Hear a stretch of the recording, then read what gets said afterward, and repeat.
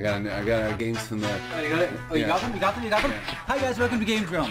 We'll pit two games against each other and then we yell. All right. Looks right. like we know exactly what game we're gonna play. Cool.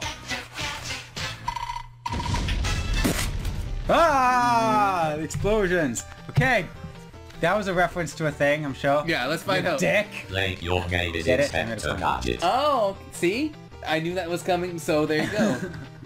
Anyway, come on. Yeah, okay, okay. And then.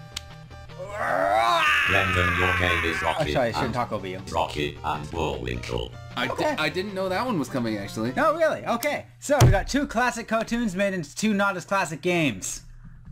Let's I said that really strangely. let's ga- gamble on to the goob. That trick never works. Ivory having butt sex for all eternity. Whoa! By the way, this is the first time Wackiness! using our, our new microphone. Not the first time I've had it plugged in. This is the first time we're using. it. We've managed to use it um, because we don't know how c- electrical cords work. Nope. And my glasses are filthy. So I've played this game before. Come on over here, kid. I'm gonna- oh, oh, oh, oh, man. He's- He's And now Rule 34 begins now. Okay. That he's a cop, and he just watched that happen. Help! Help! Help! Help! Help! Help! Help! Help! help. And Doctor. Okay, that's taking way That's too a long to very become awkward. legible. That's a very awkward way for that text to come up. Look How tiny Doctor Claw's hand is. Brain, Dr. Claw's after me. Tell Chief Quimby to help Dr. Uncle Gadget with his missions. Hurry, Brain. I don't know how uh. much longer I can. Well, you, you've already been captured, Penny. Give me a Scooby snack. This is actually a really well-built game, but I'm gonna say watching us play is probably gonna be very tedious. Tedious. Go, go, Gadget DeLorean. A lot of people I know who um, who don't didn't like anime at all as youngsters. Oops. Way to waste your whatever the hell that was. Whatever the hell was. Like didn't like anime at all, but Yeah. but loved like Inspector Gadget. I always have to explain to them like, do you know? Well, I mean, it, it's. I'm not sure if you can really say it's an anime because it was produced in France. Well, France is big on anime. French French French does like French style anime. That's true. He looks so unhappy to have his whole Oh. body dangling from his neck. I see. So I I got unlimited ammo, but I have to like just like shoot it correctly. Okay, there you go. Grab your sad face. No, now what is that thing there? I can't tell. Oh, that's a siren. No, I think that's your helicopter. Oh, of course, of course. Hey, do you remember the Matthew Broderick movie? No. Yeah. It, the controls are a bit odd because there's so many different things you have to use. Alright, so now I have to figure out how to get out of here. I guess I can use the uh, plunger attack. Yeah. I, I really like this game, but I find the number of things you have to switch constantly on the fly to make it very feel very tedious. Yeah. Oh, there. There. No. oh, there we go. Time up. What? What? where do What? what go? why? Why? Did, is this like a Japanese like uh, dating sim version of this game? Why does your clothes take come off when you run out of time? Why did you do that, Blake? I constantly forget which button is which. The, the controls are just odd. For some reason, you have a limited of, of, of number of things, and yet it doesn't seem to. Maybe it's like the number you can use at once. Maybe. I'm not sure what it does. Okay, so I want to switch to this one and float down. Nope. Ah. There. there you go. Oh now, god. now we switch to this. Yeah. And there we go. Yay. Yeah. Ah! That was very short-lived happiness. Ah! Do they have a boomerang hammer? Take head. Eat my head. What? No, you knocked you knocked your suit off. Yeah, Well, this is very ah. Fuck. No! We got this going down. We got this going down like Donkey Town. That's an expression. It's a real expression and not thing, a thing I just made up right now. No. Why do you do this every time?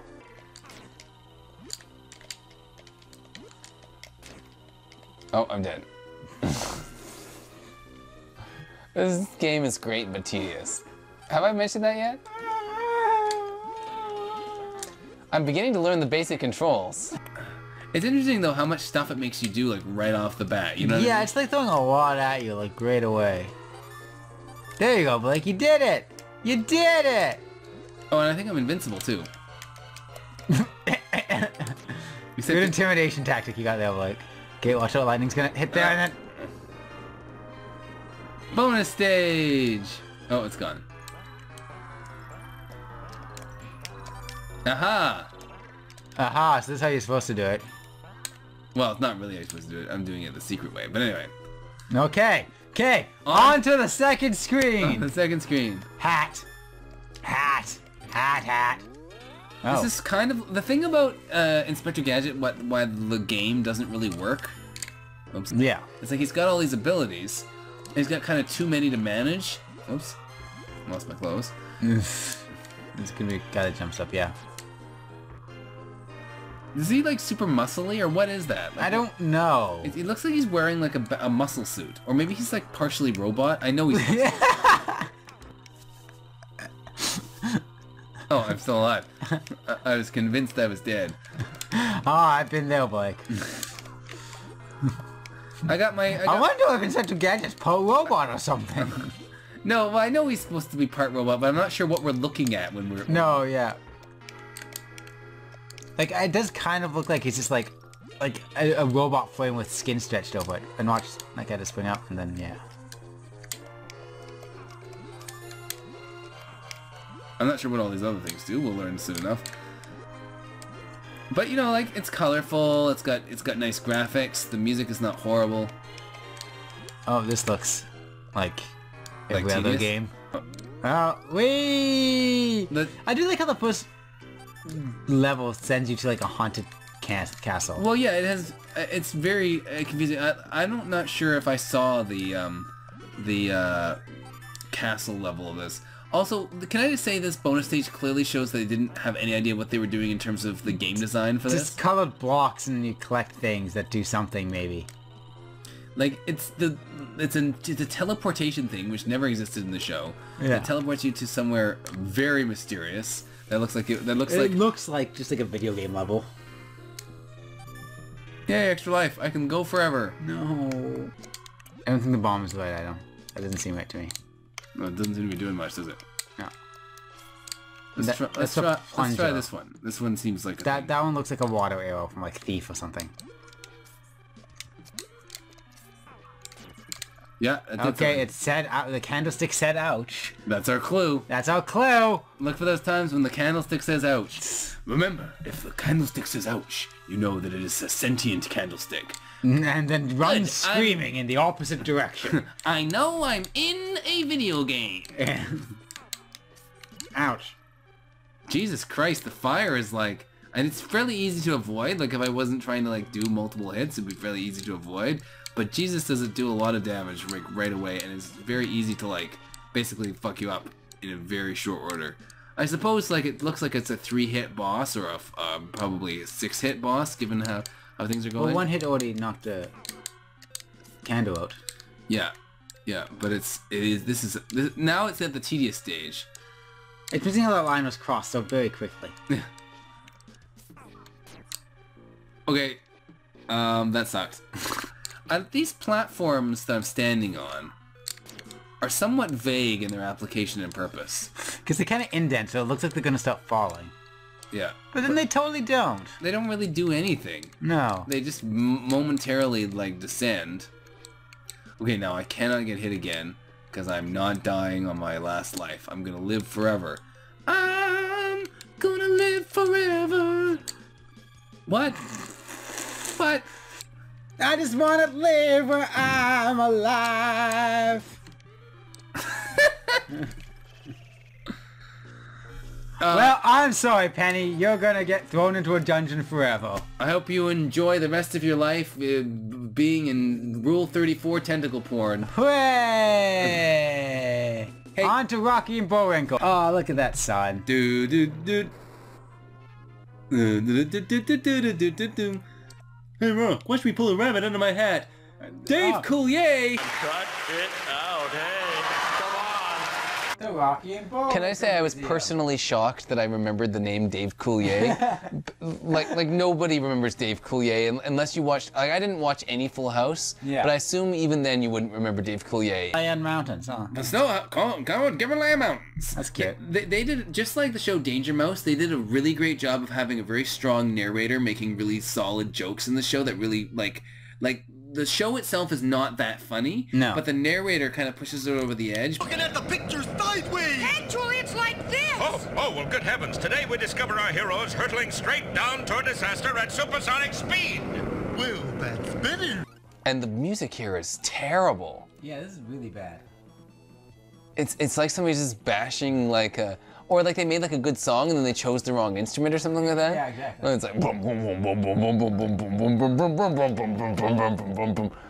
Actually, you know what? The more I think about it, it's just a bad song. I like some of the setup of this game though. Like it's just like um, uh, that other Saturday morning cartoon game we just played, the uh, which I've already forgotten. Gadget. the um, We spent like 20 minutes playing for some reason. no, but there's some nice setup to the GUI. It's got some nice like twists. I find it a bit awkward and slow, and just like Inspector Gadget, they're trying to convert something that really doesn't belong in, in a video game into a video game, and it Yeah. doesn't quite make sense. Oh, yeah, it's- But it's bad enough. Was that not bad enough for you? And especially if you add just like pounding on a keyboard with no discernible uh, rhythm or, pu- or or purpose. yeah, like how I'm doing it here. Yeah, that was extremely poor. I don't know if the jump button is sticky in this game, but you're basically as bad as this game as I am at Inspector Gadget. Yeah, no. If not so. slightly better than I was. On a scale of one to suck, I'm like pretty bad.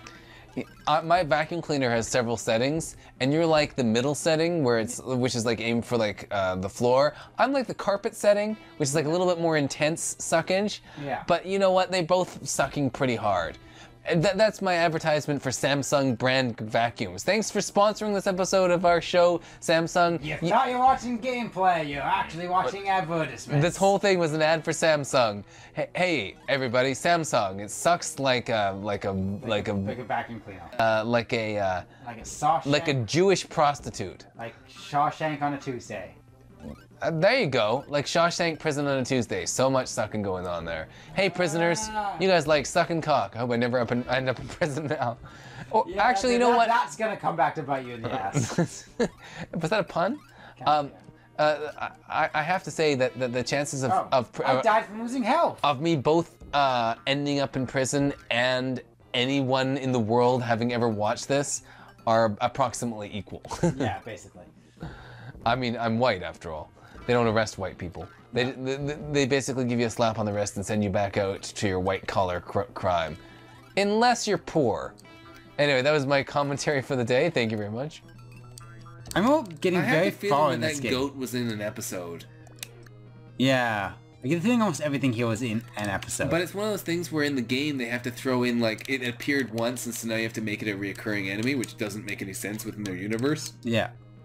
So there's like There's clearly a separate universe of logic in the in the '90s video game version of whatever it is you're playing. yeah.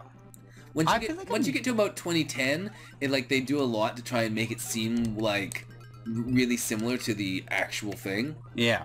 Like when you play Ah. a Telltale game, it's very reminiscent of uh, of whatever it is your the thing is based That's on. infuriating. I hope I'm at the right mountain. like I hope I'm not way, way back. Okay, no, that's three wrong. Sound good. Hey Rock, I think I've ended up at the wrong mountain. Uh, you're always at the wrong mountain. No, I'm. Oh look, I made it to level two. Level two, looking at campgrounds. After rousing start, you must be feeling pretty proud of yourself right now. Thanks. Thank, thanks. See, that would be funny if it was said by a sarcastic narrator. For plots and plans or too many crooks. But it's not funny when it's text accompanied. Ah! Oh, I remember those guys. They were they were like the Daleks of the show of this show, overused, somewhat frightening, and then no explanation for why they keep coming back. Yeah, and why? Extrema cheese. Okay. Well, that was Adventures of Rocky and Bullwinkle. I hope you got something out of that because I sure didn't. So which was better? The Adventures of Rocky and Bullwinkle or Inspector Gadget? Obviously Inspector Gadget. Which was better? The video game of Inspector Gadget or the video game of Rocky and Bullwinkle? Total mystery to me. We're gonna let our special guest judge determine because like I can't be I, I can't be arsed. He's a boat. He's probably not a boat. We should get Dave Coulier. Whoa! That's an interesting and new way to start a segment. I feel like we're on a roller coaster of emotion. Woo! Um, I developed a cough there. Yeah, that was Um, great. It was, I I'm glad voice. that's not clipping our audio. Let's ruin my voice for the fir- in the first three seconds of filming. Uh, uh, we're here. Um, of course, we've just played us the gameplay, and we're here with uh, our good friend John from the Bearfisto channel. Hi, John. Hey, what's up, guys? Uh, hey, you, you, you, there's a little, there's a little lag issue with your, Yeah, with your video. little- It's not quite syncing up completely. It's you've got a little bit of a Hanna Barbera issue going on. Yeah, a little bit. Curse you, Skeletor! That's racist. Uh, That's I'm racist. Sorry. Uh, we've been playing a little bit of uh, a couple Super Nintendo games based on old cartoons. Uh, so apropos, uh, we, we've got uh, well, we played uh, Inspector Gadget, and we also played Rocky and Bullwinkle. both for the SNES. So uh, we've got two minutes. Here's our arguments. Inspector Gadget, all right? It's a uh, it's a pretty fun game, and uh, the, one of the great things about it is they really make a good use of the color palette. They really get you the the feel of the show right away. It, it's got some humor in the opening. It's also got really nice animation. Great great design on how it goes, and you know what? All, all the graphics look like they came from the show. There's a whole lot of powers and abilities, and they all once again come from the show. They all work really well. The whole game is polished. It's got a great sound.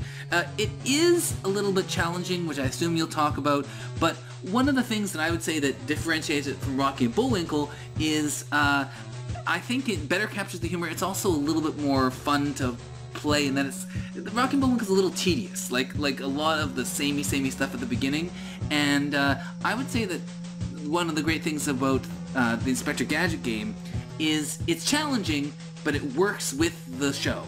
See, I kind of disagree with that. Um, I find that the Inspector Gadget game is the various power-ups you get. You get a lot of them, I admit that, but they're not very intuitive. It, the game doesn't do any, gives you any direction on how to use them properly. Um, and so the complicated, sort of more diverse nature of the gameplay actually works against it. Um, Bullwinkle is much simpler. It's aimed, I think, actually at a younger audience, despite the fact that the cartoons are more or less aimed at the same. But um, it's actually, it plays very easily from the start. You pick it up and you know what you're doing. Um, it's a basic platformer, so everything works pretty well. It's a little floaty in places, I'm not gonna lie about that, but I found myself actually enjoying playing it. We didn't play for very long, but I could have played it for much longer. To the Inspector Gadget, I felt sort of trapped. Um, and also the graphics look really good, they actually look like the cartoon, and I, it actually captures what the show was like, which I feel is the purpose of an adaptation of this kind, is trying to capture the feel of the experience more so than necessarily creating a great game, which they're both, I think both of them are actually just pretty good. Yeah, so so basically we've got two options here. We've got Inspector Gadget, which has a lot of options, a lot of power-ups, and really everything graphically uh, captures the spirit of the show. We've got Rock and Bullwinkle, which is maybe a bit more fun to play, more more jump in, a little bit less complicated, and thus in some ways less frustrating Yeah. than Inspector Gadget. But they both have their flaws. Yeah. So the question is, which one of these games, based on our arguments alone, do you think wins the day? Skeletor. Floating Skeletor. Well, I, I guess I'm have to go with the Rocky Ball just for simplicity, because like most of those most of those um um cartoon-based games, like like are targeted to kids, and it's just like tedious and like frustrating. A kid's not gonna really enjoy that, man. That's one thing actually is um, and Bullwinkle was a game I really enjoyed as a little kid. Like we, went- I rented it a few, we rented it a few times, and I really enjoyed playing it, despite the fact that looking at it, it's not a great game. Definitely Rocky Bullwinkle's the game that a kid's actually going to get a lot out of the play. Uh, I couldn't make heads or tails of Inspector Gadget, to be honest. I, I couldn't make it across most cliffs without um, trying to get a secret and plunging to my death. well, uh, listen, thanks a lot, thanks a lot, John uh, slash uh, Skeletor. Uh, it's been uh, great to talk to you. Um, and So, did we miss anything, you guys in the audience, that I'm looking at now? Yeah, I'm making eye contact. Is that creepy? Should I not? uh, leave comments below. Tweet at us. We I'm have a Facebook the creepy thing. That's good. We have a Facebook thing going. Just do that. Uh, any game suggestions? Suggest them at us. That would be fun. Yeah, yeah. Uh, so until next week, uh, keep on playing video games and never leave your house at all, ever, under any circumstances. Because we'll be watching. we'll be watching you.